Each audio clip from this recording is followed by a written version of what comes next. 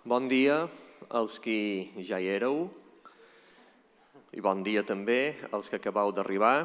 Aquesta és eh, una part pública d'una reunió que normalment no és pública, que és la reunió mensual ordinària de la secció filològica de l'Institut d'Estudis Catalans i avui estem molt contents de comptar amb presència d'espectadors importants, interessats en la nostra llengua, sigui presencialment, sigui telemàticament des de casa.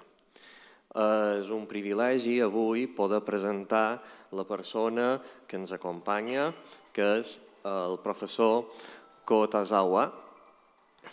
Vull dir, els, els que no eren presents a la part ordinària de la reunió, que precisament avui aquesta secció ha aprovat un document en el qual posam èmfasi en la importància de la difusió del català i en la vigència del català en el món global, que ja sabem que no és només el món que hi ha més enllà de les nostres fronteres, sinó també el món que ens traspassa amb aquests nous mitjans de comunicació que de fronteres no en tenen. És doncs un bon moment per posar-nos en, en situació i comptar amb la presència d'una persona que tant i tant ha fet per escampar el coneixement de la nostra realitat cultural i lingüística, la realitat cultural i lingüística dels països catalans, tan lluny de les nostres fronteres i al mateix temps de dur-nos a nosaltres el coneixement també de la seva cultura.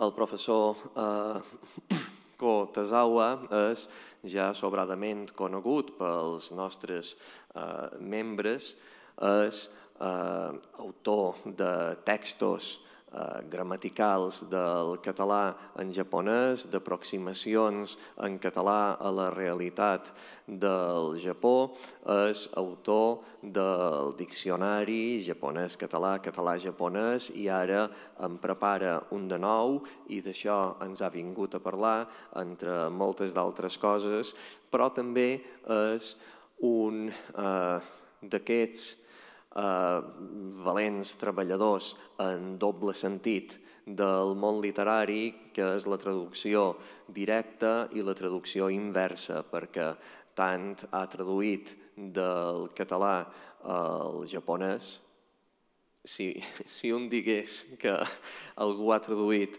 el tirant-lo blanc a una altra llengua, doncs jo crec que això ja justifica la feina d'una vida. Però si a més a més aquesta altra llengua és una llengua tan llunyana i d'una realitat cultural tan diferent, això deu justificar la feina de quatre o cinc vides. Però eh, no només ha fet això, és que també ha traduït moltes altres coses, entre les quals també obres de Mercè Rodoreda i, i també un gran nombre d'obres japoneses al, al, al català. Bé, ell ha eh, ajudat a dignificar eh, grans condecoracions com eh, la Creu de Sant Jordi, que va rebre el 2003, o el Premi Internacional Ramon Llull.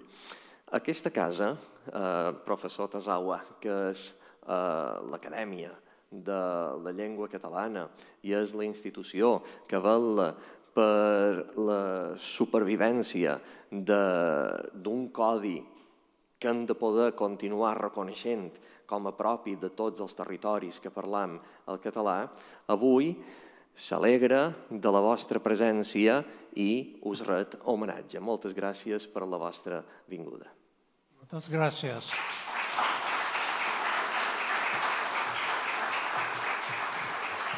I encara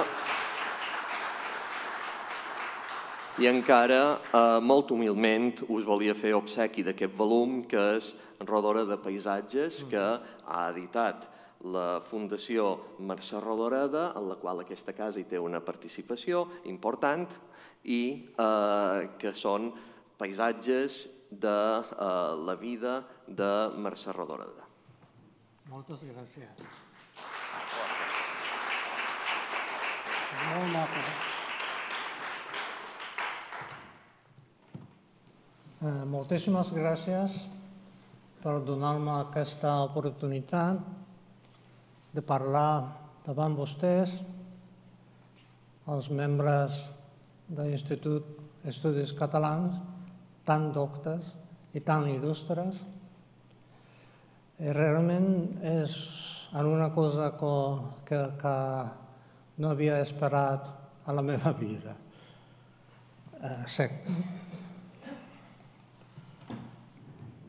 Uh, vam visitar aquest edifici fa uns 40 anys amb la meva dona com a una mena de turistes culturals.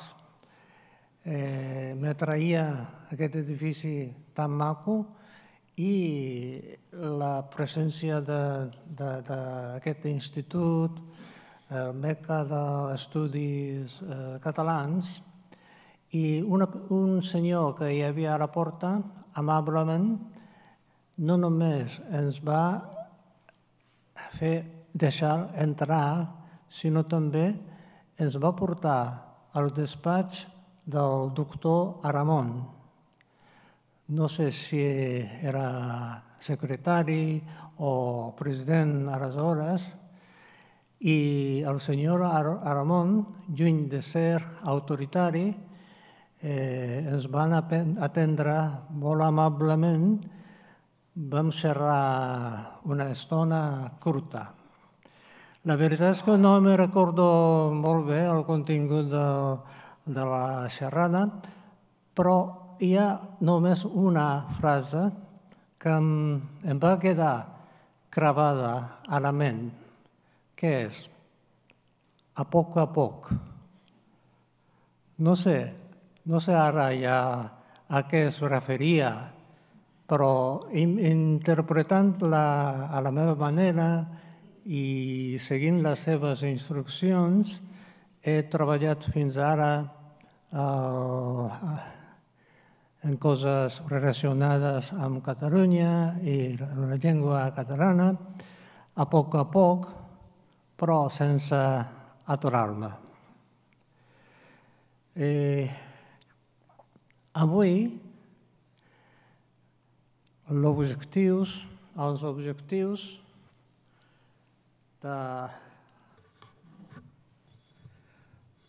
d'aquesta exposició és eh, explicar-los per què és necessari el nou diccionari japonès català, català-japonès, a l'editorial Enciclopèdia Catalana i, per tant, per explicar-los com ha de ser aquest diccionari nou. Per aquesta finalitat, m'agradaria començar l'exposició explicant les diferències entre el japonès i el català. Com que són dues llengües de, de eh, famílies lingüístiques diferents, hi ha moltes diferències. Per exemple, al japonès no hi ha articles, no hi ha nombre gramatical, no hi ha gènere gramatical, eh, no hi ha pronoms personals de subjecte pràcticament. Eh, sé que hi ha, hi ha subjectes, eh, però no són pronoms, és, són més aviat eh, substantius. Per exemple, per dir jo, hi ha més de 10 maneres de dir-lo, segons la situació. No? I també hi ha diferència a nivell fonètic. No podem distingir, no podem distingir la L i R. Eh, per tant, per nosaltres és igual dir Barce Barcelona que Barcelona. En sona igual sembla que e- és impossible corregir, aprendre, almenys per mi. Eh, hi ha moltes diferències, però no tenim temps per explicar-les totes en, en, en detalls, per tant, em limitaré a explicar de les diferències que em semblen rellevants per al nostre diccionari. Bé, primer de tot, la que crida l'atenció, de cridar l'atenció eh, als usuaris eh, catalans són eh, escriptures japoneses. Tenim eh, tres escriptures eh, en japonès, dos són alfabets fonètics o alfabets silàbics,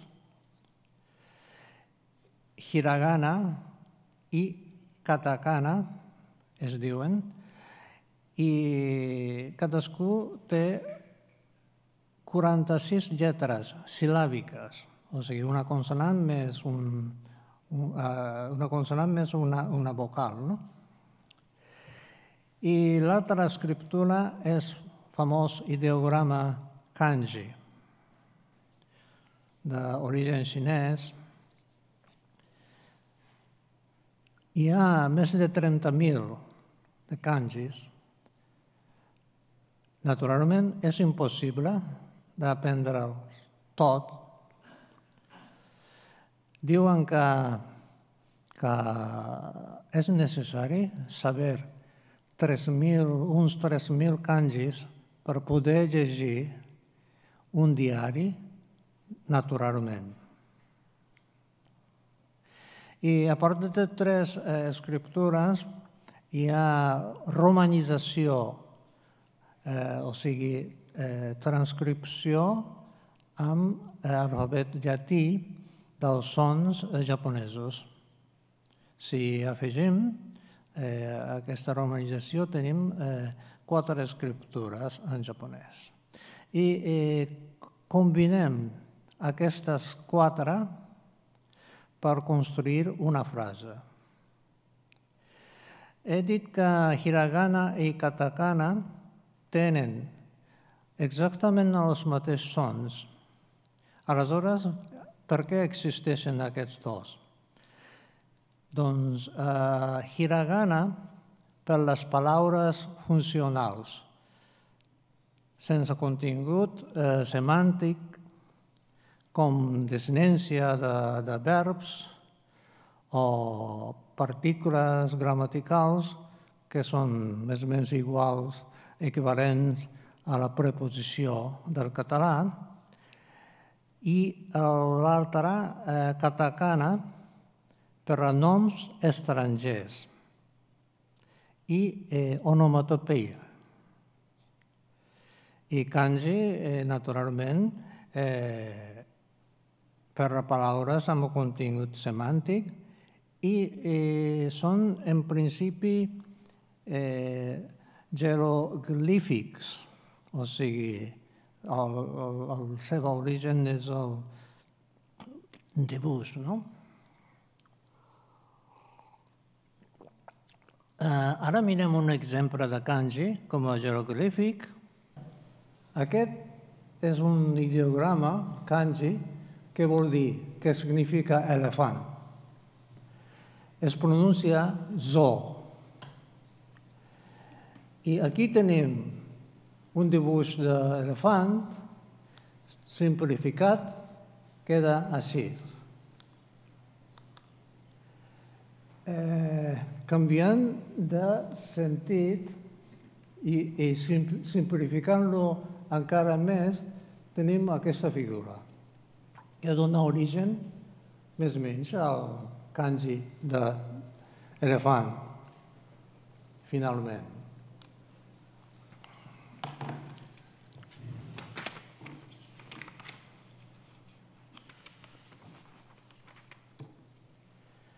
Um,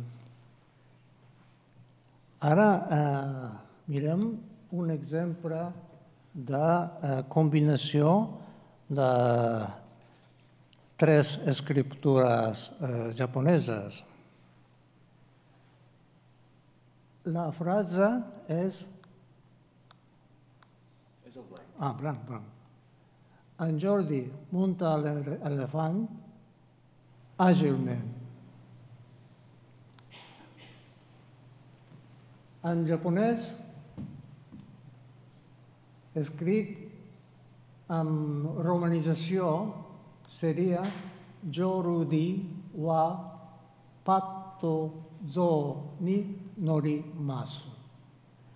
He, he posat Jordi així, havia de posar Jordi així perquè eh, un, un, alfabet japonès és eh, sempre silàbic i no, no es pot utilitzar la consonant sola.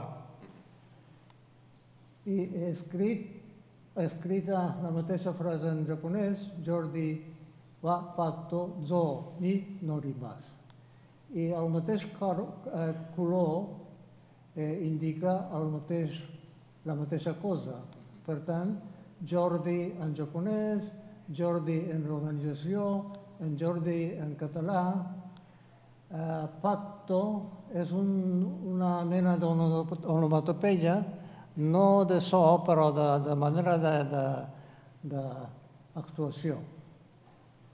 Patto, àgilment, zo és, és aquell ideograma llegit com a pronunciat com, com zo i el significat de l'elefant. No? I al final ve el verb norimasu, norimasu, munta. Així combinem. I per l'altre costat, eh, exemple, aquest és, eh, en aquest exemple trobem també els eh, katakanes, eh, hiraganes i katakana, no, no es veu bé, però aquest és wa, wa, és una partícula gramatical que indica que Jordi és el tòpic d'aquesta frase. Així eh, successivament. Així sempre eh, combinem tres escriptures per escriure una frase. La segona diferència rellevant és l'accent del japonès. L'accent de, del japonès no és l'accent de força, o sigui, una, eh, una síl·laba Eh, bé, el català és d'accent de, de, de, de, de força. No? Una síl·laba és més fort, forta que la resta de, de, de de, de la paraula. En canvi, eh, l'accent del japonès és de to, o sigui, eh, en anglès el pitch accent, una síl·laba és alta o baixa i pot haver-hi més de dues síl·labes altes en una paraula. Indiquem la pluja, eh, perdó, eh, pujada d'accent en el nostre diccionari amb una fletxa cap amunt i baixada amb una fletxa cap, cap, cap avall. Aquesta és una, la fletxa cap amunt i aquesta és la fletxa cap avall.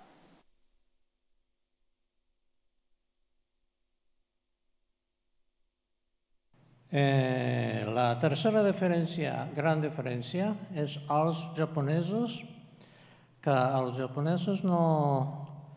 Ai, els verbs japonesos es eh, classifiquen en eh, tres grups segons la conjugació.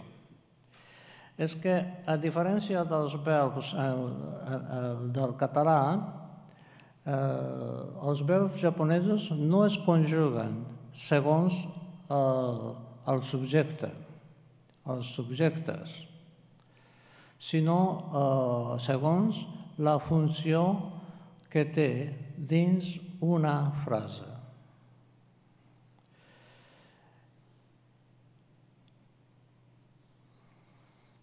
I eh, aquestes conjugacions dels verbs japonesos eh, es poden classificar en tres grups segons eh, si l'arrel acaba amb una consonant o amb una vocal i hi ha només dos verbs irregulars. I no hi ha regla fixa per saber-lo, aleshores eh, aquestes classes han d'estar eh, indicades al diccionari. Indiquem eh, els grups de l'arrel vocàlica amb una B baixa i de arrel consonàntica amb una C i finalment els verbs eh, irregulars. Eh, per últim, eh, els adjectius japonesos es conjuguen com si fossin verbs i són capaços de, de construir frases sense verbs ni verbs copulatius. Per tant, les informacions per la conjugació són necessàries eh, per als adjectius també. Quan tenim dues llengües, dues llengües estrangeres, eh, quants diccionaris necessitem entre aquestes dues diccionaris? Dos? No eh, es necessiten quatre diccionaris bilingües. Per exemple, aquí, eh, si és entre el japonès i el català, necessitem diccionari japonès-català per als catalans, diccionari català-japonès per als catalans.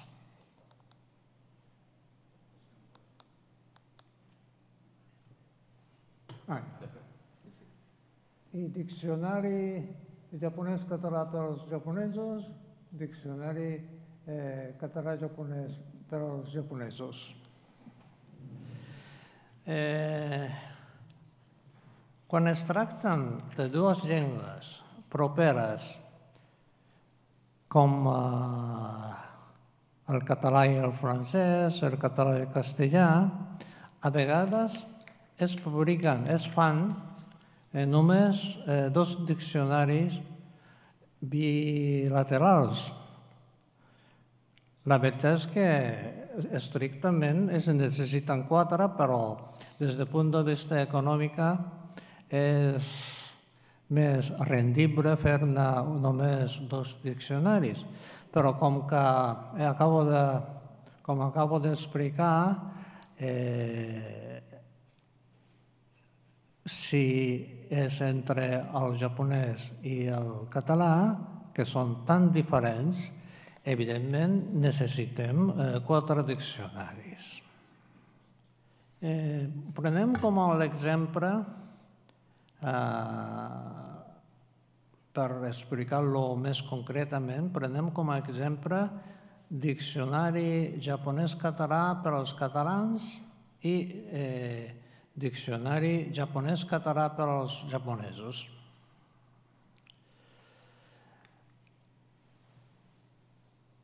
S'ha de tenir en compte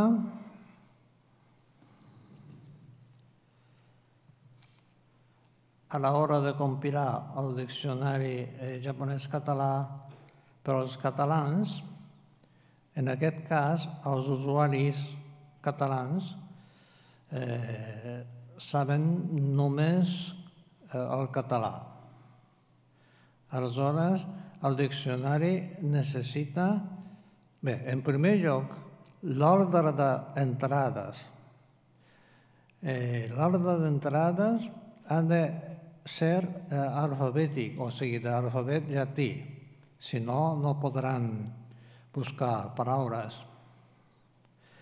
I després, eh, com que pronuncia eh, és s'ha d'indicar lectura de paraules d'entrada i d'exemples eh, il·lustratius eh, necessiten reorganització que indica la, les lectures. Perquè aquest diccionari, el diccionari és, és, si és per catalans, no... Bé, el més lògic és que no sàpiguen eh, llegir el, el japonès, escrit eh, en, en japonès. I, com he dit abans, indicació d'accent, com que no hi ha regles fixes per saber on és l'accent, on puja, on baixa, eh, també és una informació eh, necessària. Eh, en canvi, indicació de gènere gramatical d'equivalent, o sigui, en aquest cas, eh, equivalent en català, no és necessari perquè els usuaris ho saben. I finalment, informacions de conjugació de, de verbs i d'adjectius eh, són eh, necessàries. Ara passem al cas de diccionari japonès-català mateixa combinació per als japonesos on els usuaris són amb només coneixement del japonès. En aquest cas, ordre d'entrades és segons, ha de ser segons alfabet silàbic japonès i lectura de paraules d'entrada i d'exemples il·lustratius no és necessària perquè els usuaris saben, saben japonès, saben llegir el japonès normalment. I eh, tampoc és necessari indicació d'accent, En canvi, la indicació de gènere gramatical d'equivalent equivalents catalans és necessària. Aquí tenim un, un exemple d'entrada del diccionari. Primer és eh, ahiru, que és en eh, hiragana, la lectura d'aquests dos eh, ideogrames. De fet, la primera lletra indica eh, casa i segon eh, ideograma significa eh, ànec. I, o sigui, ahir vol dir eh, un ànec eh, domesticat. I els japonesos, usuaris japonesos, no saben l'ànec és un nom masculí. Per tant, s'ha de posar aquí eh, masculí.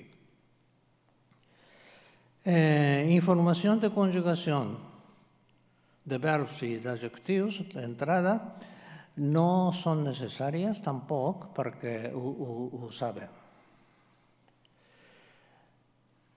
Això és un, una una vista general del, de les eh, diferències eh, en diccionaris.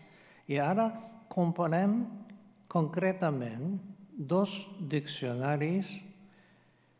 Per una banda, la secció japonès-català de eh, diccionari existent d'Enciclopèdia Catalana del 1984.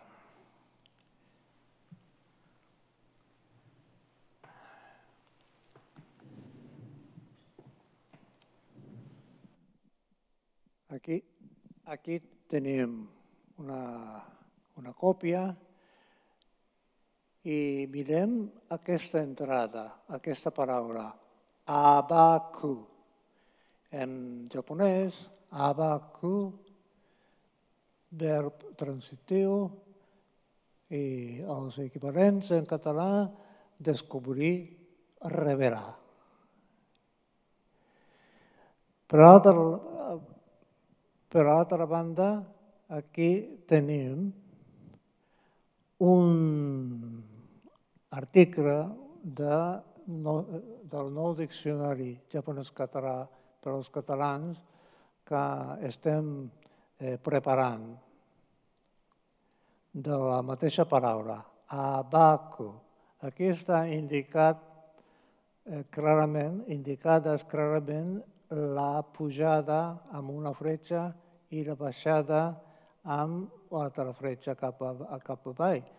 I, per tant, sabem, sabran que abacu.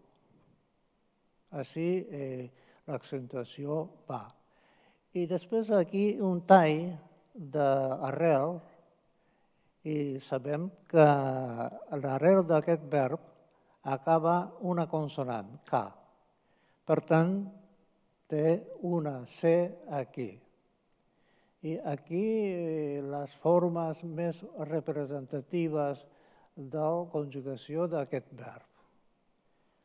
El significat és revelar i tenim un exemple també, Himitsu o Abaku, escrit eh, en japonès, Himitsu o Abaku, que significa revelar un secret.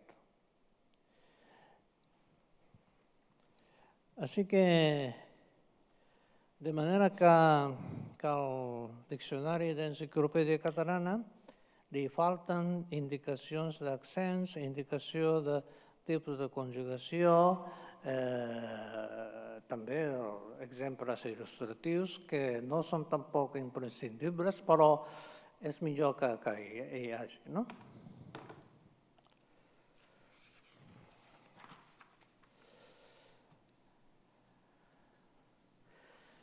i d'una forma molt resumida he fet comparació dels dos diccionaris i hem de dir, ara eh, hem de pensar com a objectiu final d'aquesta consideració perquè es necessita un nou diccionari japonès-català, català-japonès ara. Com hem vist amb els exemples concrets, eh, he de dir que eh, el diccionari d'enciclopèdia catalana és bastant millorable. Deixa bastant a desitjar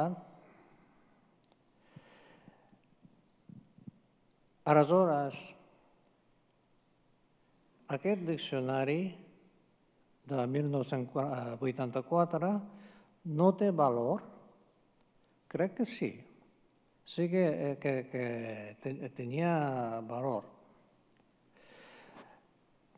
Perquè pels anys 80 la llengua catalana estava en procés de recuperar la dignitat com a llengua escrita, la llengua curta, i un dels indicadors que una llengua sigui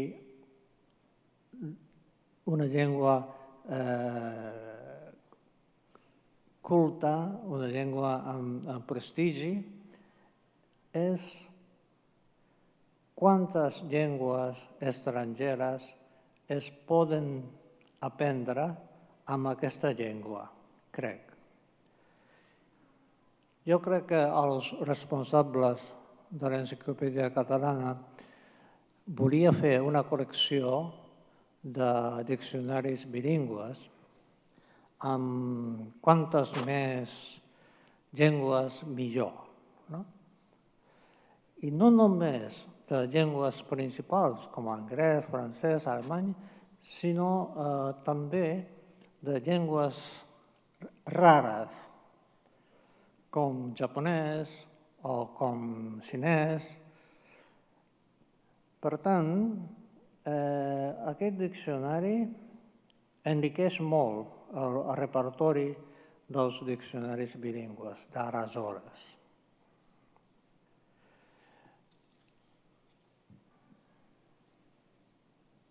I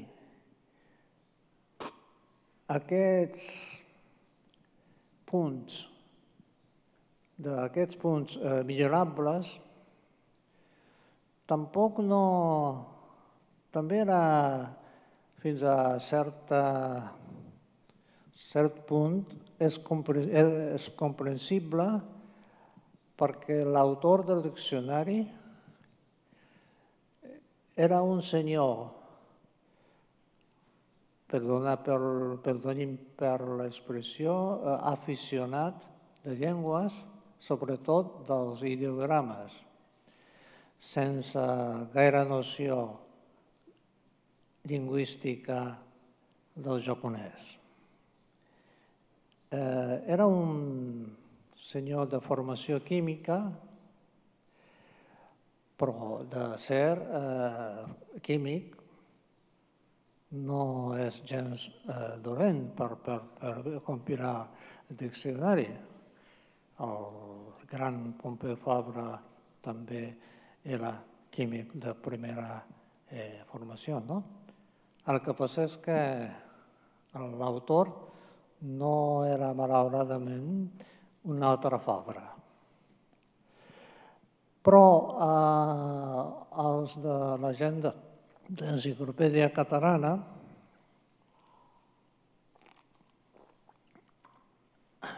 havia de, de conformar-se amb el que tenia. I és bastant comprensible perquè en aquella època no hi havia pràcticament eh, cap especialista, cap especialista català de la llengua japonesa. Eh, devia ser molt difícil trobar-ne un.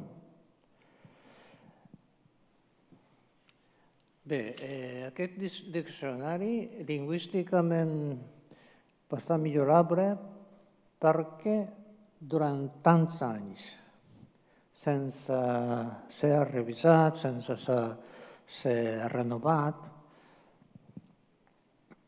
durat tants anys eh, sense renovat o sense ser revisat. No? Bé, la eh, lexicografia és una disciplina pràctica per excel·lència si no es fa, si no es com, eh, compila un diccionari si no es publica un diccionari i si no arriba a les mans d'usuaris, encara que, que hi hagi eh, estudis teòrics, el valor eh, quedarà mm, minvat.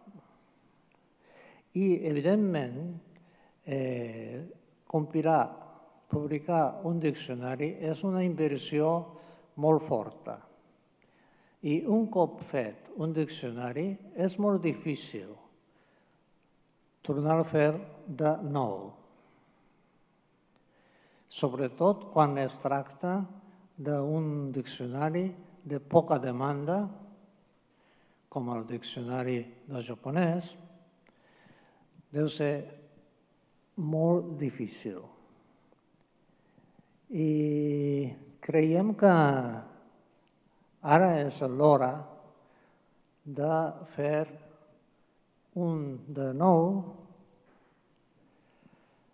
eh, per un, una banda. Ara evidentment hi ha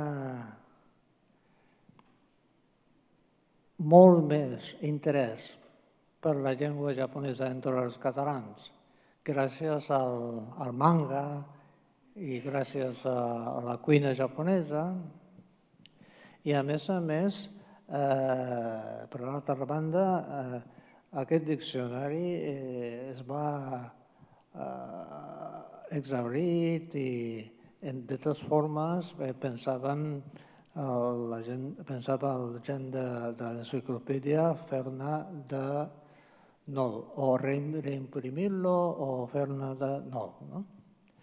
Aleshores, eh, vaig proposar de fer-ne un de completament nou.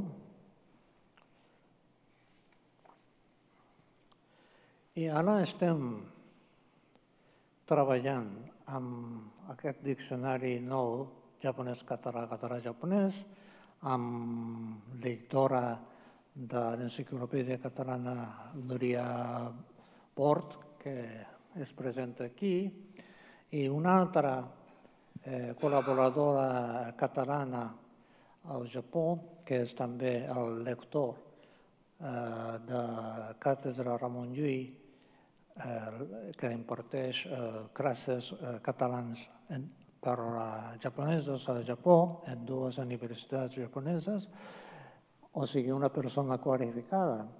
I jo crec que fem un bon equip i pràcticament hem, he acabat la redacció del text al cos principal i ara estem revisant i millorant, eh, perfeccionant el contingut. Eh, no serà un diccionari, un gran diccionari, no.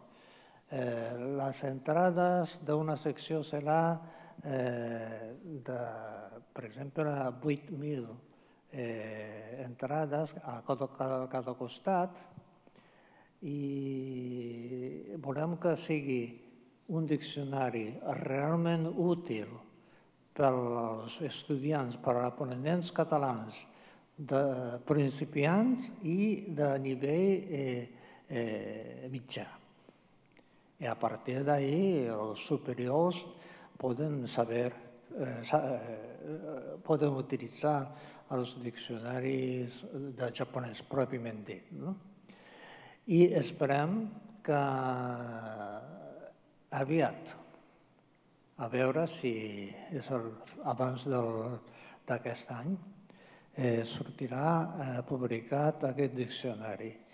El problema de finançament no, no s'ha eh, solucionat.